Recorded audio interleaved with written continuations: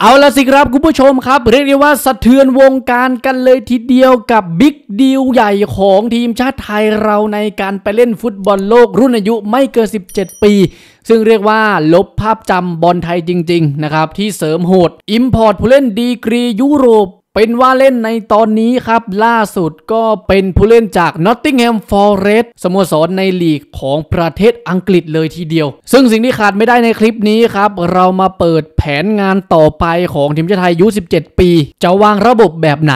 เพื่อที่จะเข้าไปเล่นฟุตบอลโลกรุ่นเยาวชนให้ได้ อันนี้น่าสนใจมาก ๆ ครับ และเราก็มาปิดท้าย ในเรื่องราวของสมาคมฟุตบอลไทยเราครับ ล่าสุดเนี่ยฟีฟ่าดันสูงเลยครับ มาร่วมงานพร้อมแสดงความยินดี ที่สมาคมไทยเรานั้นคว้ารางวัล สมาคมฟุตบอลยอดเยี่ยมของเอเชีย ในระดับ Diamond เลยทีเดียวนะครับ ซึ่งงานนี้ก็มีประธานฟีฟ่าที่ออกมาสนับสนุนไทยเราในเรื่องของการดันชุดเยาวชน ซึ่งคลิปนี้มีเรื่องราวน่าติดตามมากมายเลยครับ แต่ว่าจะเกิดอะไรขึ้นบ้าง มารับชมกันได้เลย ก่อนจะไปรับชมคลิปครับ หากคุณผู้ชมเป็นคนดู YouTube แล้วมีโฆษณากวนใจ แต่ก็ไม่อยากสมัครพรีเมียมในราคาที่แบบเต็มจุกๆ วันนี้แอดก็มีอีกหนึ่งทางเลือกครับ ที่จะทำให้การดูคลิปนั้นง่ายขึ้นกับ YouTube Premium ในราคาเพียงแค่ 59 บาทต่อเดือนเท่านั้น และก็เป็นของแท้100%ครับ สามารถตรวจสอบได้ หากสนใจก็สามารถ add LINE หรือว่าจิ้มลิงก์ใต้โพสต์เข้าไปสมัครใช้บริการกันได้เลยนะครับ สวัสดีคุณผู้ชมทุกท่านนะครับ กลับมาเจอเจอกันอีกเหมือนเดิมคลิป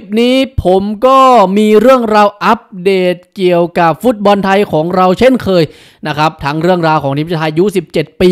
เรื่องราวของทีมชาติชุดใหญ่ และก็เรื่องราวของสมาคมกีฬาฟุตบอลไทย ที่ล่าสุดเลยครับ เรามาเข้าเรื่องกันก่อนเลยนะ เกี่ยวกับสมาคมครับ ล่าสุดมาดามแป้งเนี่ย ก็เพิ่งไปรับรางวัล สมาคมฟุตบอลยอดเยี่ยมของเอเชียนะครับ AFC Member of the Year แห่งปีเลยในระดับ Diamond โดยสมาคมกีฬาฟุตบอลไทยของเรานั้นครับได้รับการประเมินให้รับคะแนนสูงสุดเลย โดยได้คะแนนเฉลี่ยจากสมาพันธ์ฟุตบอลแห่งเอเชีย มากที่สุดเป็น top หนึ่งจากผลงานความสำเร็จทั้งในการดำเนินการจัดงาน FIFA Congress ครั้งที่ 74 รวมถึงงาน AFC คองเกรสครั้งที่ 34 เมื่อช่วงเดือนพฤษภาคมที่ผ่านมาครับซึ่งก็ได้รับความร่วมมือจากหลายต่อหลายฝ่ายเลย และก็สร้างความประทับใจ และก็ยังได้รับคำชื่นชมจากประธานฟีฟ่าและชาติสมาชิกทั้งหมด 211 ชาติเลยทีเดียวนะครับที่เข้าร่วมงานนี้ แต่ก็เป็นสมาคมกีฬาฟุตบอลไทยเราครับที่ได้รับรางวัลสมาคมกีฬายอดเยี่ยมของเอเชียในระดับ Diamond เป็นครั้งแรกในรอบ 30 ปีด้วย ซึ่งเราเนี่ยไม่เคยได้รับรางวัลอะไรแบบนี้ในระดับเอเชียเลย ก็ เป็นเรื่องน่ายินดีมากๆนะครับโดยมาดามแป้งเองก็ต้องขอบคุณ ทุกฝ่ายที่มีส่วนเกี่ยวข้องเลยรวมทั้งนักกีฬาฟุตบอลทีมชาติไทย staff โค้ชและก็แฟนบอลชาวไทย ที่ร่วม support สมาคมครับเป็นเหตุผลที่เราได้รับรางวัลสมาคมกีฬาฟุตบอลยอดเยี่ยมแห่งเอเชียไปครองได้สำเร็จในปีนี้ โดยงานใหญ่ยังรอเราอยู่ครับก็เป็น ทีมชาติชุดเยาวชนไทยเราเนี่ยอายุ 20 ปี แล้วก็ชุดอายุ17 ปี ที่ยังอยู่ในเส้นทางไปฟุตบอลเยาวชนโลกอยู่ และอีกสิ่งหนึ่งที่เป็นสิ่งสำคัญเลยครับ ก็เป็นประธาน AFC แล้วก็ประธานฟีฟ่าออกมาพูดกับมาดามแป้ง ที่เขาให้ความสำคัญกับการพัฒนาฟุตบอลเยาวชนเป็นอย่างมากเลยทีเดียว ซึ่งก็อย่างที่รู้กันครับ ในชุดเยาวชนอายุ17 ปีเนี่ย เป็นความร่วมมือของสมาคมกับฟีฟ่านะครับที่ได้คิดโครงการนี้ขึ้นมาก็คือโครงการที่ เฟ้นหานักกีฬาเนี่ยจากทั่วประเทศเลยครับคัดสรรมาเป็นเพชรเม็ดงามที่ดีที่สุดติดทีมชาติชุดนี้ ซึ่งเราก็ได้ผู้เล่นมาแต่ละคนเนี่ยทีเด็ดทั้งนั้นเลย ก็เลยทำให้ทีมชาติไทยของเราเนี่ยยังอยู่ในเส้นทางที่จะไปเล่นฟุตบอลโลกในระดับเยาวชนอยู่ ดูเหมือนประธานสาพันธ์ฟุตบอลนานาชาติ หรือว่าฟีฟ่าอย่างจานนี่อินฟาติโนครับจะชอบประเทศไทยจะชอบสมาคมไทยแล้วก็ฟุตบอลไทยเราเป็นพิเศษนะหลายๆ งานเนี่ยเห็นหน้าเห็นตากันดีครับมาร่วมงานที่ไทยเยอะมาก และก็ออกโรงสนับสนุนทีมชาติไทยเราด้วย นี่เราเป็นลูกรักทั้งวอลเลย์บอลทั้งฟุตบอลเลยหรือเปล่านะครับของเวทีระดับนานาชาติ เรื่องราวนี้ก็ถือว่าเป็นเรื่องราวที่ดีนะ กับสมาคมฟุตบอลไทยเราครับ มาดามแป้งเพิ่งเข้ามาแต่ว่าได้รับรางวัลสมาคมฟุตบอลแห่งเอเชีย ก็เอาไว้ประดับบารมีฟุตบอลไทยเรา โดยรางวัลอื่นครับ ก็เป็นรางวัลรายบุคคลนะ นักเตะยอดเยี่ยมแห่งปีของ AFC ครับ ก็เป็นอัครามอาฟิฟ ผู้เล่นจากกาตาร์ส่วนนักเตะยอดเยี่ยมหญิงแห่งปีครับของ AFC ก็เป็นคิโกะ เซเกะจากญี่ปุ่นนะครับและนักเตะยอดเยี่ยมแห่งปีของเอเชีย ก็เป็นซนฮึงมินครับผู้เล่นจากเกาหลีใต้ อันนี้ก็เป็นรางวัลแห่งปีของสมาพันธ์ฟุตบอลเอเชียของเรานะครับที่ได้ประกาศออกมา มาต่อกันที่อีกเรื่องหนึ่งกันเลยครับ เรื่องนี้เราจะไม่พูดถึงไม่ได้ก็คือเรื่องของฟุตบอลทีมชาติไทยนะครับในปีหน้าเนี่ยต้องบอกเลยว่าโกอินเตอร์กันสุดๆครับ on tour ต่างประเทศรัวๆซึ่งนอกจากชุดใหญ่เนี่ย จะแข่งขันชิงแชมป์อาเซียนที่จะเตะในเดือนธันวาคมแบบเหย้าเยือน ยังมีโปรแกรมของทีมชาติไทยในปีหน้าอีกหลายต่อหลายชุดโดยเฉพาะในชุดเยาวชนครับ โดยมาไล่เรียงจากชุด U20 ปี ที่จะแข่งขันที่จีน ในศึกชิงแชมป์เอเชียรอบสุดท้ายในเดือนกุมภาพันธ์ อันนี้โกอินเตอร์ที่จีนนะครับ และก็ยังมีชุด U17 ปีอีกครับที่จะแข่งขันชิงแชมป์เอเชียรอบสุดท้าย ในเดือนเมษายนที่ซาอุดิอาระเบียนะครับ และยังมีทีมชาติชุดใหญ่ ที่เราก็ต้องรอยืนยันในการแข่งขันชิงแชมป์เอเชียรอบคัดเลือกนะครับ เรียกว่าทีมชาติไทย3 ชุดนี้โกอินเตอร์แน่ๆครับรายการใหญ่ในเอเชียเราได้เข้าร่วมหมด ซึ่งชุดที่สำคัญที่สุดเนี่ยน่าจะเป็นชุด U17 ปี ที่จะมีโอกาสไปเล่นฟุตบอลโลกชุดเยาวชนนะครับเพราะว่าโควตานั้นมันมีมากถึง 8 ทีมด้วยกัน และล่าสุดครับตัวละครลับกำเนิดขึ้นมาอีกแล้วเป็นผู้เล่น import จากยุโรป import จากแดนอังกฤษ ซึ่งเป็นสโมสรนอตติงแฮมฟอร์เรสต์ครับ ก็เป็นน้องไคลอตัวริมเส้นวัย 15 ปี ที่มีดีกรีนั้นลูกครึ่งไทยอังกฤษครับ เป็นผู้เล่นชุดเยาวชนของสโมสรนอตติงแฮมฟอร์เรสต์ซึ่งล่าสุดก็ได้รับการติดต่อจากทีมงาน staff ไทยเราเป็นที่เรียบร้อย และตัวน้องเองเนี่ยก็ออกมายืนยันแล้วว่า พร้อมจะมาพิสูจน์ความสามารถในแคมป์ทีมชาติไทยรุ่นอายุไม่เกิน 17 ปีสำหรับไคลอนะครับตัวริมเส้นวัย 15 ปี จากนอตติงแฮมฟอร์เรสต์ซึ่งดีกรีแบบนี้ผมบอกเลยว่าไม่ธรรมดาแน่นอนครับโดยน้องเนี่ย ก็ติดตามฟอร์มของทีมชาติไทย แล้วก็ตามเชียร์ทีมชาติไทยเราอยู่ตลอด โดยเฉพาะการแข่งขันชิงแชมป์เอเชียรอบคัดเลือกที่จบไปหมาดๆนี่แหละครับน้องก็ติดตามผลนะก็มีการแชร์รูปในอินสตาแกรมอยู่ตลอดเลยครับ แบบนี้น่าจะมีใจและก็พร้อมที่จะติดทีมชาติไทยเราอย่างต่อเนื่อง เพราะว่ามีการโพสต์ IG story ครับ ผลการแข่งขันของไทยเจอกับบรูไนเจอกับเติร์กเมนิสถานน้องก็โพสต์เช่นเดียวกัน พร้อมกับย้อนไปก่อนหน้านี้ก็ได้มีการโพสต์รูปพร้อมกับพาสปอร์ตไทยด้วย โดยก็น่าจะสื่อว่า เจ้าตัวเนี่ยยินดีเสมอที่จะมาเล่นเยาวชนให้กับทีมชาติไทยหากถูกเรียกตัว ซึ่งนี่ถือว่าเป็นตัวละครลับเลยครับ ปีกดาวรุ่งลูกครึ่งไทยอังกฤษของนอตติงแฮมฟอร์เรสต์ก็ถือว่าริมเส้นของเราชุดนี้ มีดีกรีกันทั้งนั้นเลยครับ น่าจะ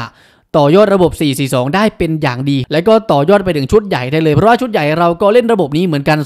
442 ที่โค้ชอิชิอิเนี่ยชอบเล่น และน้องเองก็ยังไม่ทิ้งความเป็นไทยนะครับ ตอนนี้ก็กำลังเริ่มฝึกคอร์สเรียนภาษาไทยอย่างจริงจังด้วย ซึ่งนอกจากจะหัดพูดก็ยังมีหัดเขียนหัดอ่านเหมือนกัน โดยน้องไคลอครับ คุณพ่อเป็นชาวอังกฤษ คุณแม่เป็นชาวไทย ก็เพิ่งเป็นข่าวดังหลังเซ็นสัญญาร่วมทีมกับนอตติงแฮมฟอร์เรสต์ U15 ปี ไม่แปลกเลยครับ ที่ชุดนี้จะเป็นชุดแห่งความหวังจริง ๆ เพราะนอกจากจะมีไคลอ ก็ยังมีแจ็คไทเลอร์ที่อยู่กับสโมสรเลสเตอร์ซิตี้ในชุดเยาวชนด้วย และคนนี้ได้ร่วมฝึกซ้อมกันมาแล้วถึง 3 แคมป์แต่ว่าไม่ผ่านการคัดเลือกนะครับเนื่องจากยังคงปรับตัวไม่ได้กับสภาพอากาศ และก็ยังคงปรับตัวไม่ได้ในเรื่องของรูปแบบการเล่น ไม่ใช่ว่าน้องไม่เก่ง แต่ว่าที่ปรับตัวไม่ได้เนี่ยก็เป็นเรื่องของระยะเวลาครับต้องบินไปบินกลับประเทศอังกฤษเนี่ยบ่อยก็เลยเข้าแคมป์ช้ากว่าเพื่อนครับการฝึกซ้อมก็เลยไม่ต่อเนื่องโค้ชจเด็จ ก็เลือกที่จะตัดออกไปก่อน ซึ่งในเวทีเอเชียของจริงรอบสุดท้ายเนี่ย ผมคิดว่าในแคมป์นี้แหละเป็นแคมป์สำคัญมากๆ เพราะดีกรีดาวรุ่งดีกรีลูกครึ่งเนี่ยจะมาร่วมฝึกซ้อมกันเป็นจำนวนมากเลยครับ มีแน่ๆแหละแจ็คไทเลอร์และก็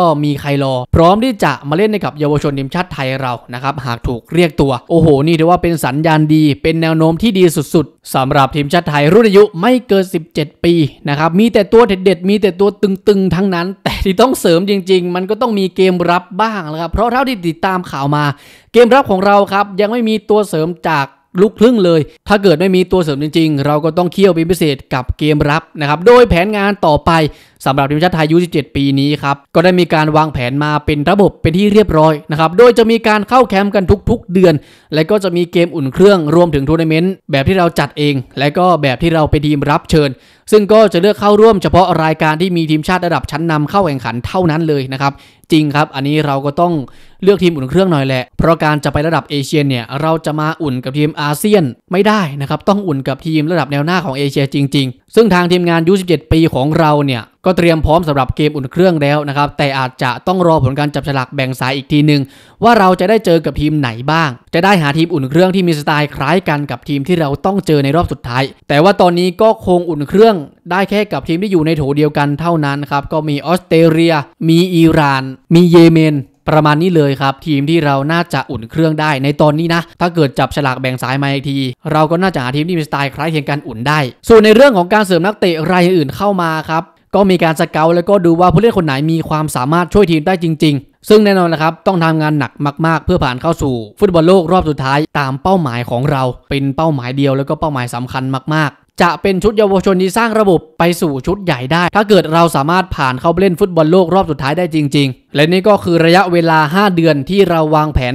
จะเตรียมทีมสำหรับทีมชาติชุดอายุ 17 ปีนะครับ ซึ่งผลงานก่อนหน้านี้ก็สามารถคว้ารองแชมป์อาเซียน ที่เราแพ้จุดโทษให้กับออสเตรเลีย และยังไม่แพ้คู่แข่งในเวลา 90 นาที 16 นัดติดต่อกัน ยังอยู่ในเส้นทางที่จะไปฟุตบอลโลกอายุ17 ปีอยู่ แต่ผมเองก็คิดว่าการที่เราไม่แพ้กัน16 นัดติดต่อกันเนี่ย ในเวลา 90 นาทีนะ มันอาจจะเป็นดาบสองคมก็ได้นะครับที่น้องๆเองอาจจะมีความมั่นใจมากเกินไป เพราะว่าเรายังไม่เคยแพ้ใครเลย ทั้งปีนะครับ16 เกม ไม่ว่าจะเจอออสเตรเลียเนี่ยเราก็เสมอได้ แต่ว่าไปแพ้จุดโทษ หรือว่าไปเจอทีมใหญ่ๆเนี่ยเราก็ยังไม่เคยแพ้นะครับอย่างการอุ่นเครื่องกับ UAE เราก็ชนะมา 4-2 ในรอบคัดเลือกครั้งล่าสุดเนี่ยเราก็ชนะอินเดียชนะเติร์กเมนิสถานชนะบรูไนมา ผลการแข่งขันเนี่ยมันเป็นใจให้เราหมดเลยที่จะสามารถสร้างความมั่นใจเต็มเปี่ยมให้กับน้องๆ แต่โค้ชจเด็จเองครับเขาก็มองต่างเหมือนกัน เหมือนมีความมั่นใจเต็มเปี่ยมนะครับความมั่นใจไม่ผิด แต่ว่ามันอาจจะส่งผลในเกมนะครับพอเราเจอกับทีมระดับท็อปๆของเอเชีย แล้วเราสู้ไม่ได้เนี่ยน้องๆจะ รับมือกับแรงกดดันได้มากแค่ไหน โดยเฉพาะแรงกดดันจากความคิดเนี่ย มันเป็นสิ่งที่รับมือยากกับชุดเยาวชนชุดเด็กนะครับ พอหลุดไปแล้วมันจะหลุดไปเลย ซึ่งนี่ก็อาจจะเป็นอีกหนึ่งสิ่งที่ทางสมาคมที่ทางทีมงานสตาฟเนี่ยต้องปรับนะครับ พยายามอุ่นเครื่องกับทีมที่เหนือกว่า พอเราแพ้แล้วเนี่ย มันจะได้มีประสบการณ์มากขึ้น และก็จะได้มีวิธีการจัดการกับสถานการณ์แบบนี้ที่เราแพ้ ซึ่ง 5 เดือนนับจากนี้ครับไม่มีทางเลือกและก็เป็นสิ่งที่ต้องทำก็คือการอุ่นเครื่องกับทีมระดับท็อปของเอเชียให้ได้ ถ้าเกิดเราอยากจะผ่านเข้าไปเล่นฟุตบอลโลกยุ17ปีจริง ๆ นะครับ ก็ต้องรอส่งแรงเชียร์แรงใจให้กับน้องๆกัน สิ่งที่น่าสนใจเลยก็คืออยากเห็น Import ลูกครึ่งมากับดาวรุ่งชุดนี้นะครับ ว่าจะเป็นยังไงรอชมรอตามกันได้เลยนะครับ และในส่วนของคลิปนี้ครับ ผมก็มีเพียงเท่านี้หากชอบการอัปเดตเรื่องราวแบบนี้ ก็อย่าลืมกดไลค์กด Subscribe เป็นกำลังใจให้กับผมด้วยครับ คิดเห็นอย่างไรกันบ้าง คอมเมนต์เข้ามาพูดคุยแบบจัดหนักจัดเต็มกันได้เลย แล้วเจอกันใหม่กับข่าวอัปเดตในคลิปหน้าสำหรับคลิปนี้ ไปแล้วนะครับบ๊ายบาย